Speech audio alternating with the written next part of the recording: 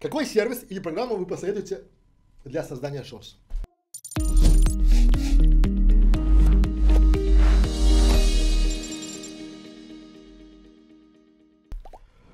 Друзья мои, я очень много вам сегодня говорил про то, как правильно размещать шорс, как правильно делать, да? И вот э, я хочу еще раз акцентировать ваше внимание. Чем меньше будет посредников между вами и Ютубом, посредников это в качестве программ, сервисов, не знаю, каких-то еще приблуд, да, тем лучше. Меньше в шорс, потому что задача у шорс их очень много.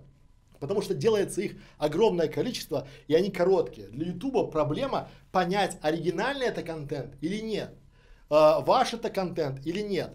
И вот если вы свое видео, то есть заливаете, это опять мое предположение, это не правило Ютуба. Если, я думаю, что если вы, самый правильный вариант, если вы свое видео заливаете прямо э, с телефона на YouTube, делая у Ютуба есть там внутри можно подписать, поставить фильтры, поставить какую-то там анимашку. Они будут это развиваться. То есть, как бы, YouTube понимает, что вы, он же видит по а, логам вашего видео, что вы только что это видео записали с своего телефона, записали себя в режиме реального времени. И это видео, отправив на обработку средствами Ютуба, отправили на YouTube он понимает, что это ваш уникальный контент и не тратит ресурсы свои, своей команды, аппаратные на распознавание чей-то контент, потому что он по умолчанию понимает, что это вы. И даже вы ви, э, видео поставили звуки с фонотеки YouTube. Все.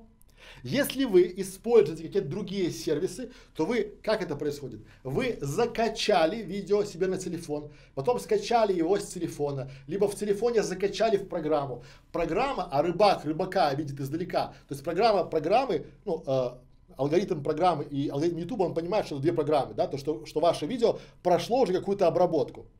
Или же вы заливаете уже это видео на YouTube, и я думаю, что, скорее всего, к этому видео будет особо пристальное внимание, потому что оно де-факто под сомнением оригинальное реально. А что хочет YouTube? Первое. YouTube хочет, скорее всего, того, чего хочет и TikTok, чтобы люди просто в режим, то есть простота, то есть чем победил ТикТок? Ты взял, кнопочку нажал, помните там это все там, да? И отпустил, и оно там бррр, и полетело это видео. Да? То же самое хочет YouTube. То есть он хочет, чтобы люди не отправляли на постобработку, на монтаж, а чтобы эти короткие видео люди снимали классные момент, моменты своей жизни и делились с окружающими. И люди приходили, смотрели, комментировали и тоже делились. Да, и вот такая вот, чтобы все друг с другом делились. И здесь, может быть, я прав, а может быть и не прав, сервис это третий лишний. Вот поймите меня правильно, что когда вы еще, а есть еще такие, которые там типа поможем там э, подписчикам нагоним, то есть вот чем больше вы делаете того, что мешает Ютубу понимать, о чем ваше видео, чем хуже для вашего канала. Резюме. Я считаю, что чем меньше сервисов вы используете, тем лучше. Чем меньше видео ваше проходит обработку, постобработку, монтажную там, да, тем лучше. И э, в скором времени в самом Ютубе уже будет огромное количество инструментов, как и в ТикТоке, они же развиваются, да, там фильтры, заголовки, музыка, вставки, там, не знаю, motion, да. То есть почему это делается? Потому что тогда YouTube может, и в ТикТоке, YouTube, тогда они могут определить, что это уникальное видео. Просто. Пора барабан.